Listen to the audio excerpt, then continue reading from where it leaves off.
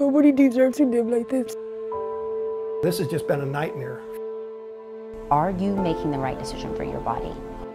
None of these products have actually gone through the rigorous process of being FDA approved. The FDA has uh, millions and millions of reports that aren't publicly available. This is affecting lives and it's major and nobody's really listening to us. About 32 million Americans, one in every 10, will have some kind of medical device implanted in their bodies. A joint, a pump, a piece of wire or mesh. Like drugs, we expect these devices to undergo rigorous testing. But the FDA does not require the same standards for medical devices as it does pharmaceutical drugs.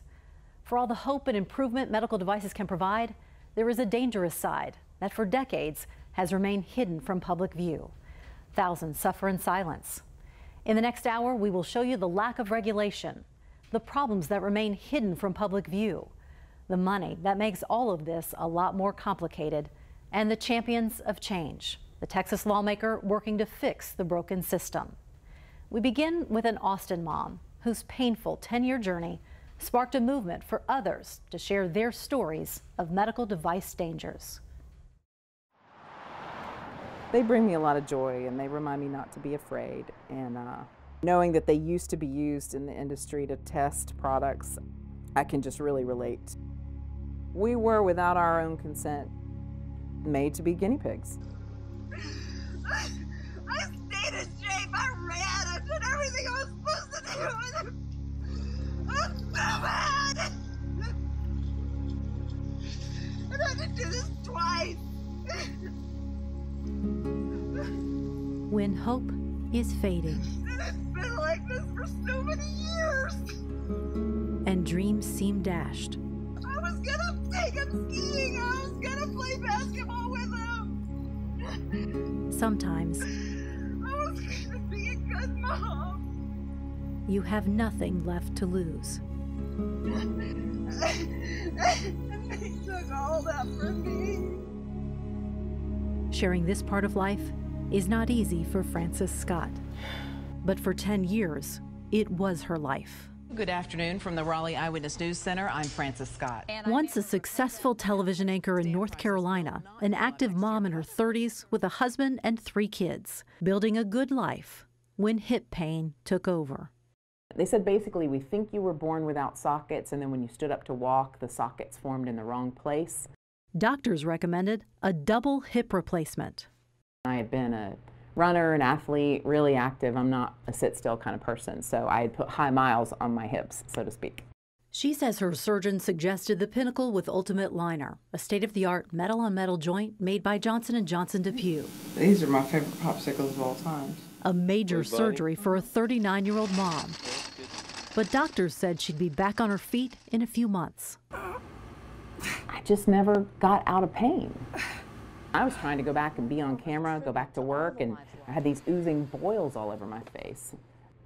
That's when I started notice, noticing the tinnitus, the hearing loss. And memory loss. I was driving on the interstate, the main road, and I, I couldn't figure out how to get back to work for, you know, two or three minutes. And it was terrifying.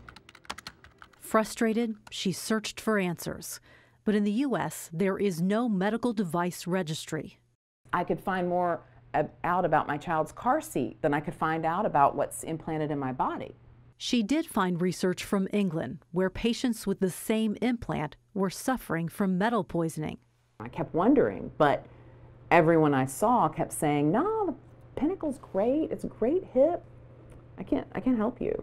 And then they stopped taking my appointments, so I knew I was on my own. She lost her job, forced to sell her home move her family to Texas.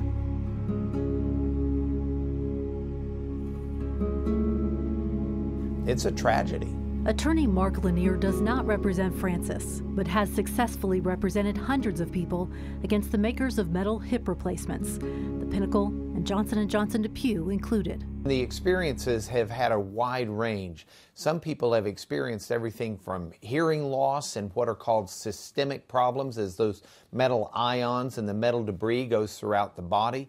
Some have experienced heart issues. Some have experienced memory issues. Most experience pain around the implant and a loss of muscle and, and ligaments. The head of Johnson & Johnson DePuy's development team warned company leaders of issues with metal on metal implants in 1997 before implanting the Pinnacle with the Ultimate Liner in people. This memo filed in court shows metal on metal was a bad engineering design. Wear is a major problem. In simulator testing, performance is unpredictable, working well for a period of time before suffering a sudden, catastrophic breakdown, which includes releasing a large volume of debris. The FDA oversees all medical devices and drugs, but the approval process is very different. Drugs have to undergo human trials. Most medical devices do not.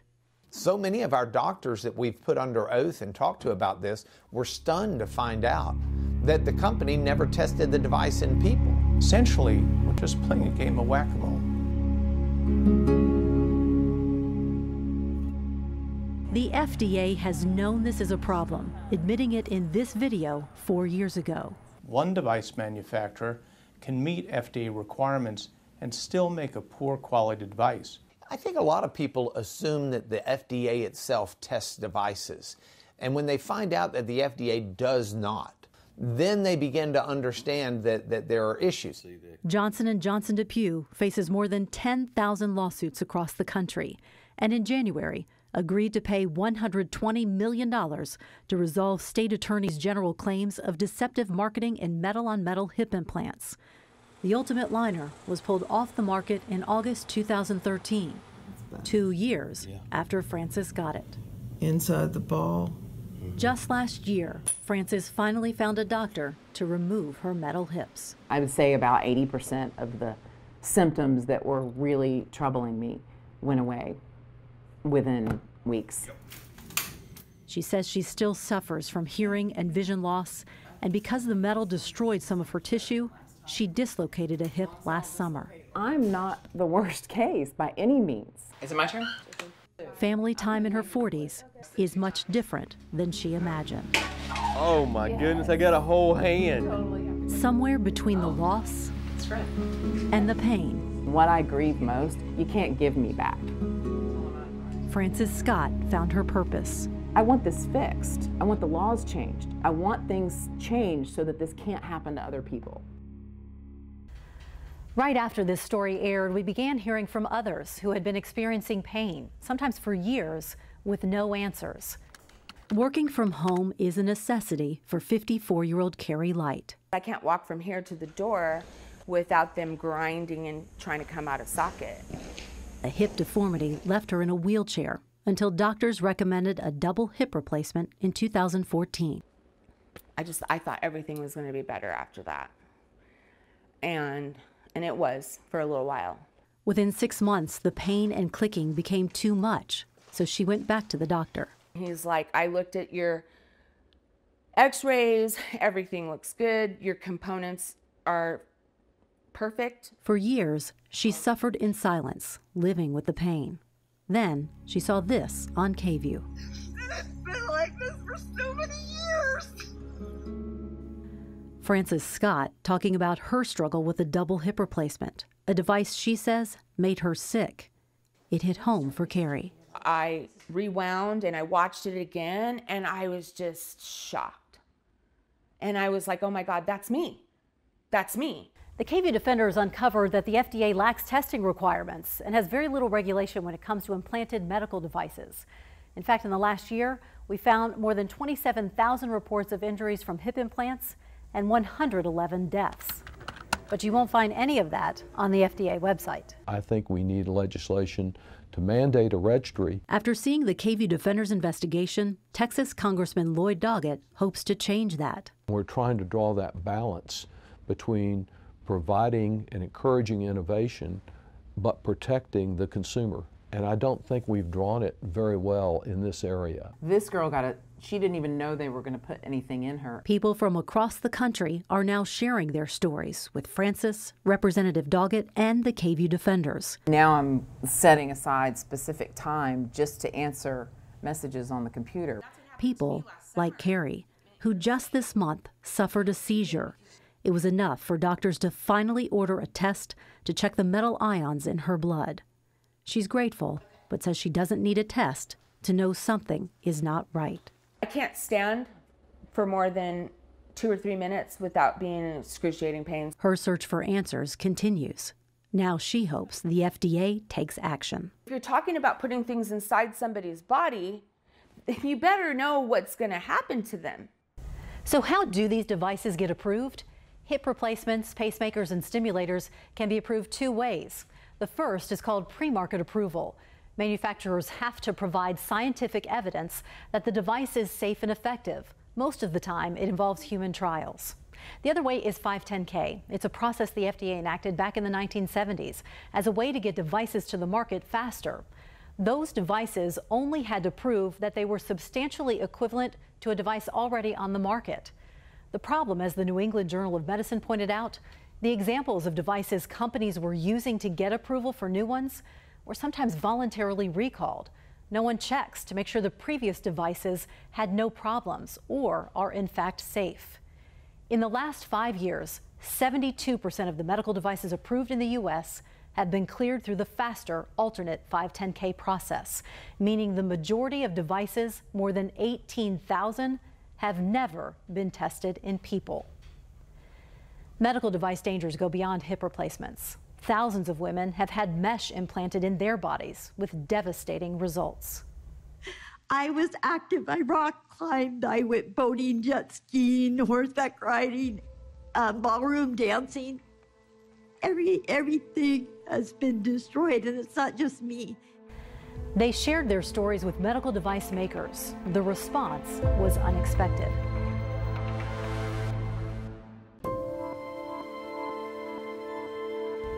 Nearly one in every five women suffer from prolapse, a condition where pelvic muscles no longer support pelvic organs. For years, surgeons made repairs using tissue from women's bodies. But in recent years, a surgical mesh has been used. Following thousands of complaints and years of warnings from the FDA itself, a public hearing shed light on what is growing evidence of medical device dangers.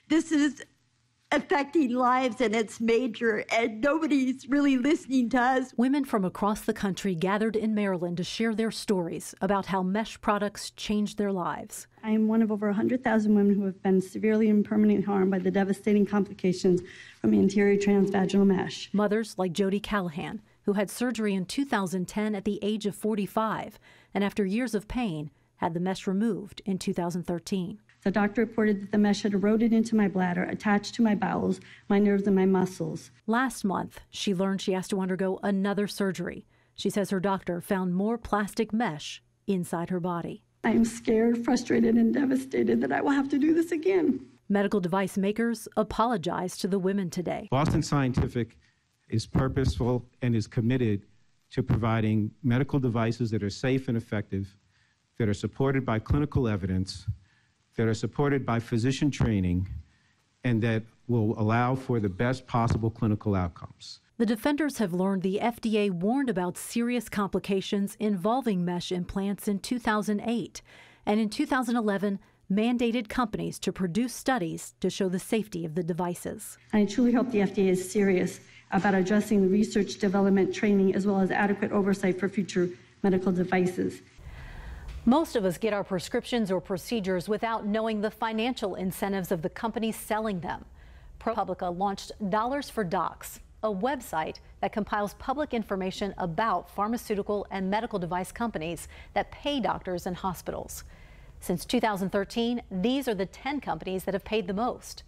Genentech, the first company, paid more than a billion dollars between 2013 and 2016. The top payments were for drugs that treat various forms of cancer, including lymphoma and breast cancer. DePuy Products is number three. That's the same company that sold the Pinnacle before it was pulled from the market.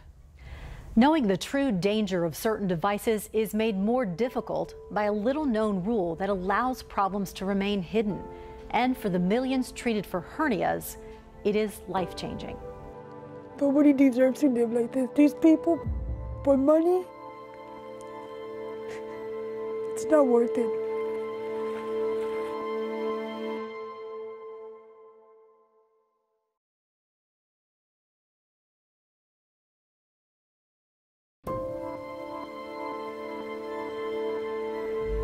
More than a million hernia surgeries are performed in the U.S. every year. The majority of those involve some type of plastic mesh.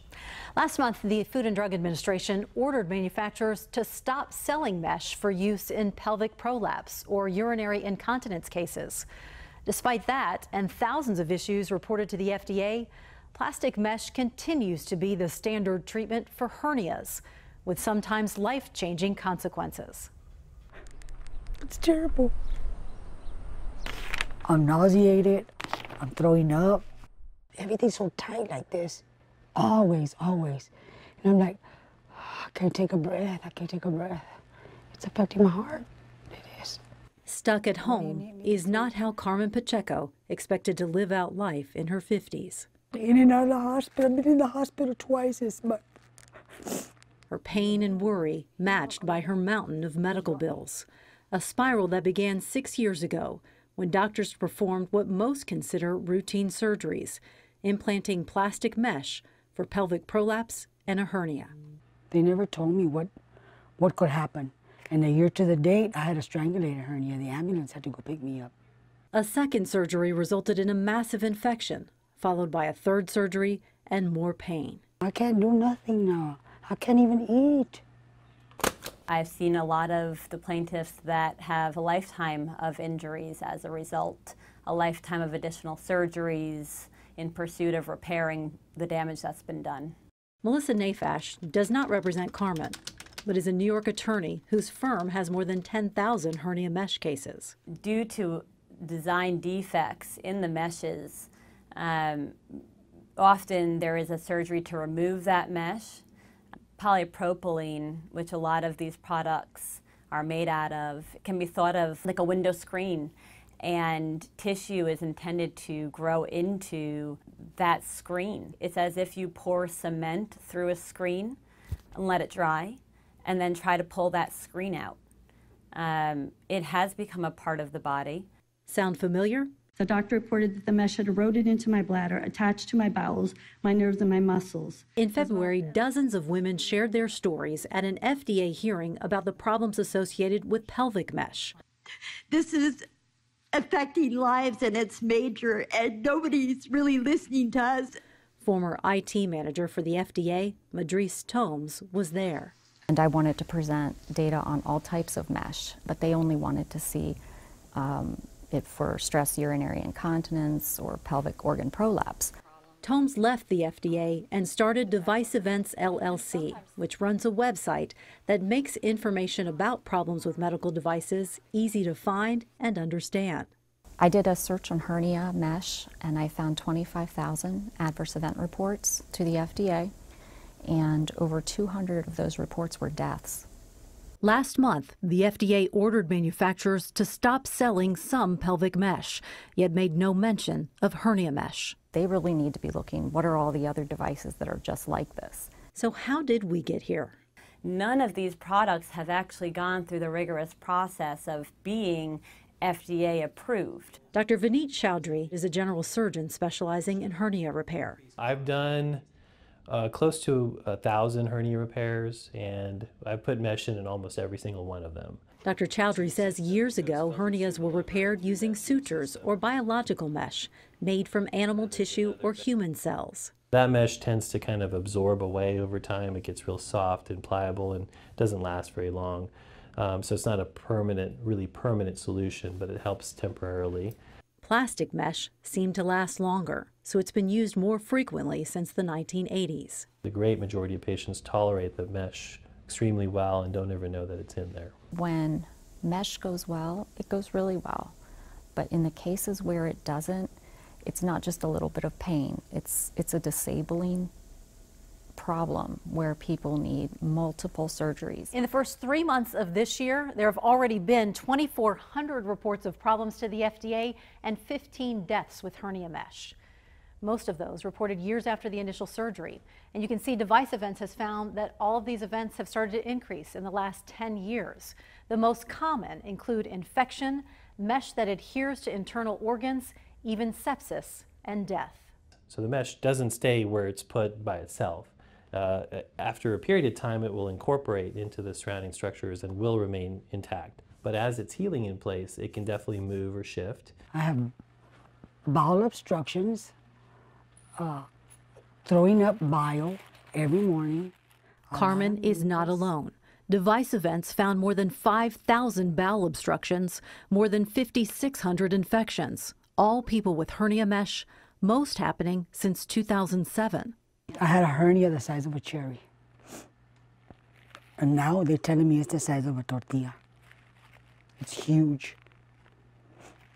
Carmen used to weigh 225 pounds. See, this is the first surgery.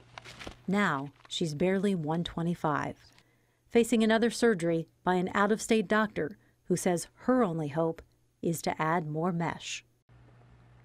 To be going through this, yes, they destroyed my life. The mesh will destroy your body, your health, it will destroy your life.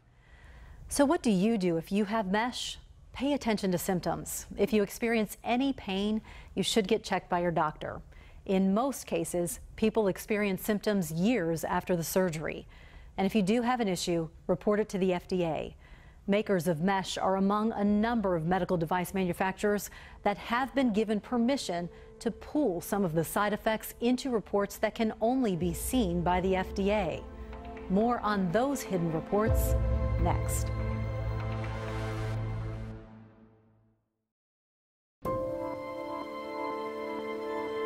You didn't see reports for a really long time, so the devices must have gotten safer. But those reports were just being hidden in summaries that the people, the physicians, couldn't even see. For decades, the FDA has allowed certain medical device manufacturers to report problems with devices that only government workers could see. As the KVUE defenders uncovered, these hidden reports included serious problems, like cancer. The view is so amazing. Life for Lacey Heatherly has never been clearer.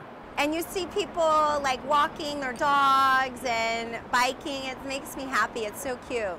It's been five months since a surgeon removed her breast implants. But a week after, I lost so much inflammation. Within a couple of weeks, I lost seven pounds of inflammation. My eyes got clear, my skin got clear, my acne that I had had went down. Her symptoms were similar to thousands of other women, but she had no way of knowing. The FDA has uh, millions and millions of reports that aren't publicly available. Madris Tomes is a former IT manager for the FDA who started Device Events LLC. She says for decades, the FDA has allowed certain manufacturers to file known side effects in what is known as alternative summary reports. And the FDA gives them an exemption, says, okay, you can submit these in summary format. And so what that is, is it's a spreadsheet. And it's not publicly available.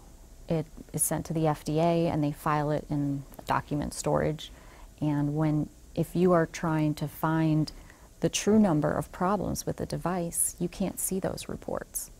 A system set up in the 1970s to make reporting problems easier for certain medical device manufacturers. But Madris discovered one report could contain thousands of problems. They had become a way to hide the true scope of what may be happening with certain medical devices. Case in point, breast implants. About two years ago, um, I had discovered that summary reports were being used for breast implants. Um, I did not know the extent of it, um, but what I'd found was that it appeared that device companies thought that a rupture wasn't a serious injury. And so they were saying, well, we can put this in a summary report. When she also found cases of lymphoma being hidden in these summary reports, she brought her findings to the FDA. It took my finding this pattern for the FDA to say, wait a minute, maybe these shouldn't have been coming in as summaries. Two years later, the FDA ordered manufacturers to make those issues public. problems jumped from 51,000 to nearly 300,000 overnight. So 90% of the reports that existed, the public didn't know about until that day. How many lives have to be lost before action takes place? Isn't one life enough?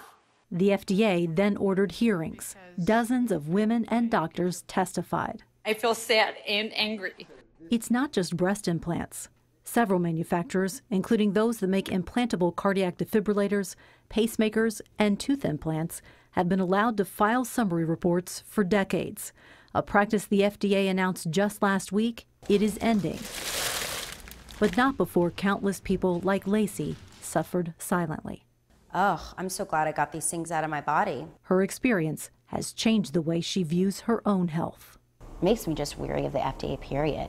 And this all comes back to are you making the right decision for your body? Are you just completely trusting what the doctor says? If you think this just concerns breast implants, you are so wrong because this concerns everything we're doing with our bodies. We've been asking the FDA about these hidden reports. And just last month, the agency announced it is ending the practice of alternative summary reporting and plans to release them. We are still waiting on those reports. Many people who suffer get offered settlements from medical device manufacturers, but in return, they are often required to sign agreements which prevent them from talking about their experience. There's a, another level of secrecy that can be involved as well when people do sign items, uh, uh, uh, sign agreements not to talk, not to speak of, not to disclose. That can come in on a settlement level. That can come in on a level of, of using a, a product or getting a replacement product.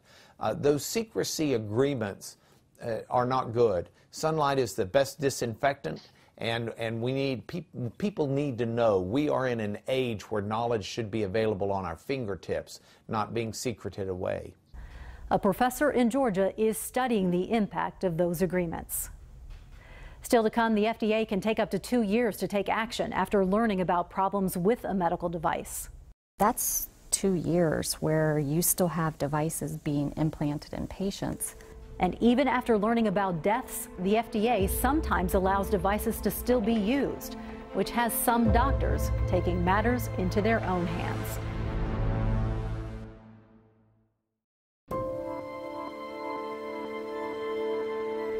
Since 2011, 457 women were diagnosed with lymphoma. Nine women died from a cancer researchers determined was caused by textured breast implants. One of those patients who underwent months of treatment lives in Dripping Springs. Her cancer is so aggressive that her doctor will no longer put textured breast implants in patients, even though the FDA still allows it. Hi, Sandra. How are you doing? Doctor visits take on a whole new meaning when you've had cancer. How are you doing? Feeling better, yeah. Any new changes? Especially a rare cancer you should have never had. It was shocking. I mean, I was in a lot of pain. Sandra Rush nearly died from lymphoma, a cancer doctors say she developed from her textured breast implants.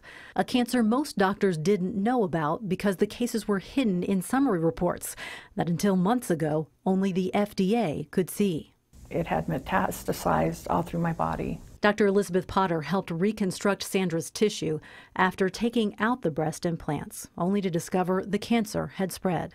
This breast implant associated cancer, which had occurred as a result of a cosmetic implant and had spread into her breast tissue, was now in her bones throughout her body.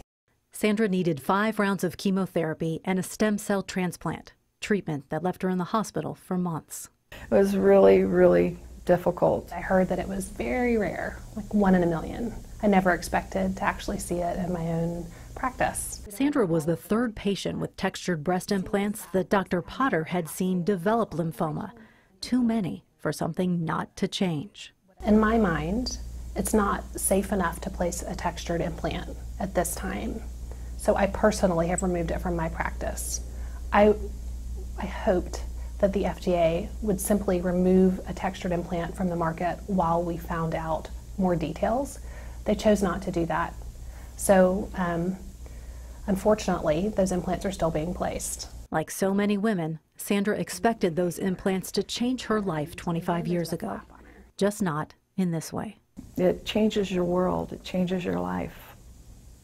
Definitely does. Still to come, an effort to get people off pain pills has pushed patients to get an implanted medical device that has left hundreds with life changing side effects.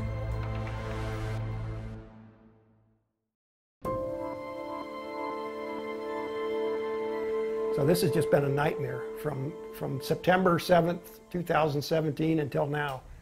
A 20 year veteran who has seen his share of pain now lives with a daily reminder. It is another medical device danger story that changed this Marine's life forever. I did tours in Guantanamo Bay, the Gulf War in 1991, uh, three tours in Okinawa. David Winnett has seen a lot. Uh, went to Egypt on an operation.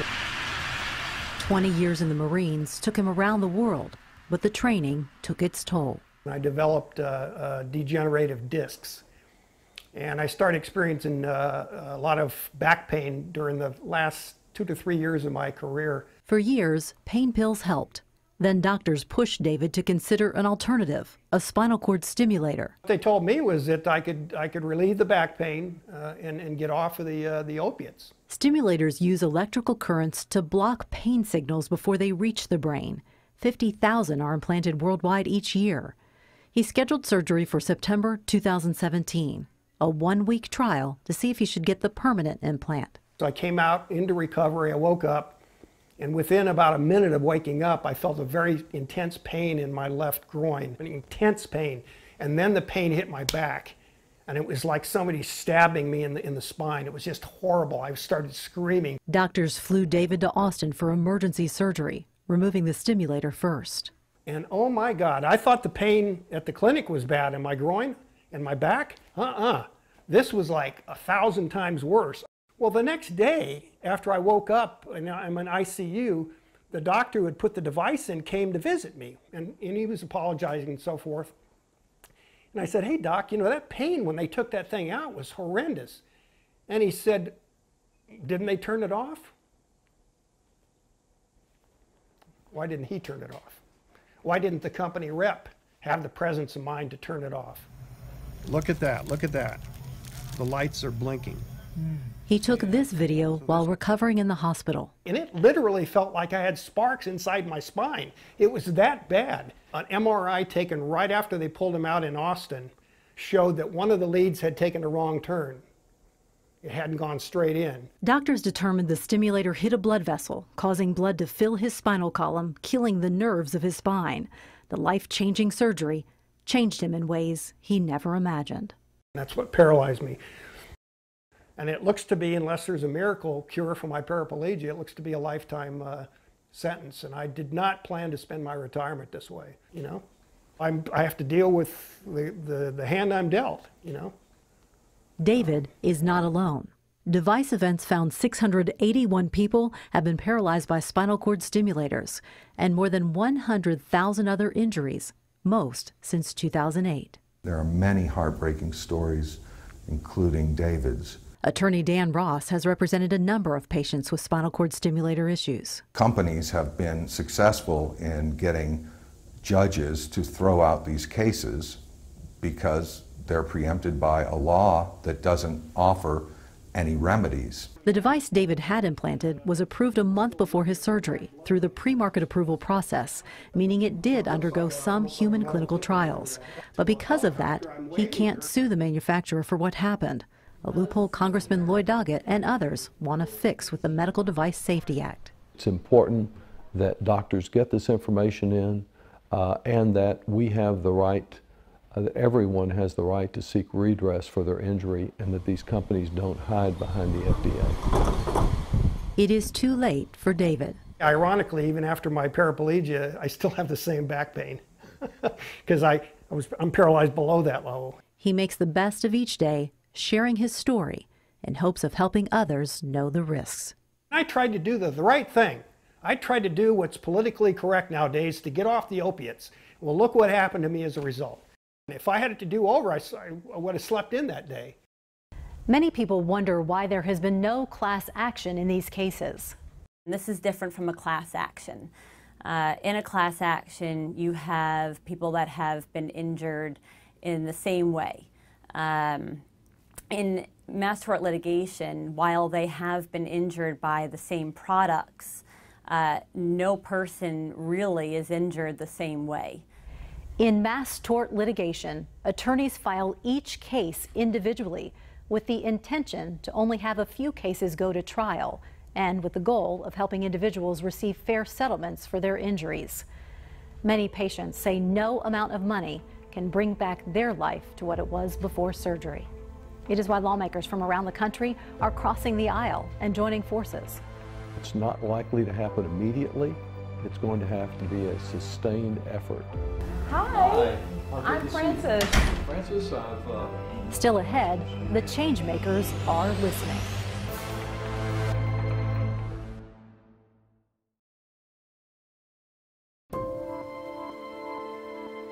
The medical device industry contributes generously to campaigns uh, and they lobby very effectively.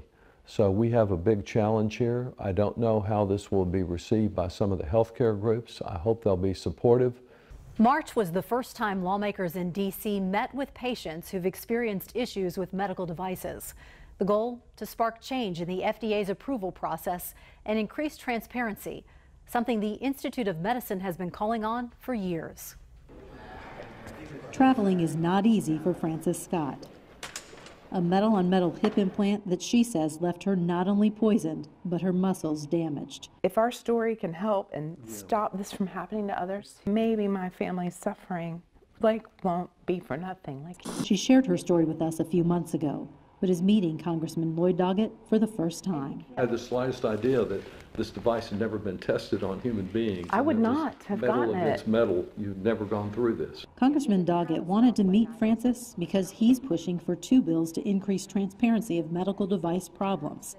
It's not just hips, mesh, breast implants, and many other devices. Just seeing your stories and seeing how much misery was caused to some individuals and knowing from my own experience many years ago as a judge that I'd see some of these cases come up, uh, I thought it was important to make a difference. According to Device Events, a service set up by a former FDA worker to better track problems with medical devices, the FDA receives more than 80,000 reports of problems each month involving various devices, an antiquated system that makes it difficult for patients and doctors to understand the true scope of problems. My hope is that uh, we'll have enough citizen outrage over this, enough participation by the victims who've been directly affected along with their families, that we can bring about some change. The FDA says only about 14% of medical device problems ever get reported. The New England Journal of Medicine estimates it is much less than that, less than 1%. Manufacturers, importers, and device user facilities like hospitals are required to report problems to the FDA. Right now, there are no requirements for doctors or patients, but as you've seen here, there really should be. You can submit a report to the FDA online or print it out and mail it or fax it. These stories, this information can be found on kvue.com slash medical device dangers. We also started a Facebook group that has resources, offers support, or the ability for you to share information with others. I also share updates on the federal legislation and FDA hearings and recalls. Just search Medical Device Dangers on Facebook. Medical devices like stents, pacemakers, joint replacements can transform lives, but they can also cause irreversible, life-changing problems. Eight years ago, the Institute of Medicine called for the FDA to change the way it approves medical devices, not to stifle innovation, but to make it less likely that people get hurt. The system needs reform. What shape and when that will take place remains to be seen. Thank you for joining us and listening to these stories. Good night.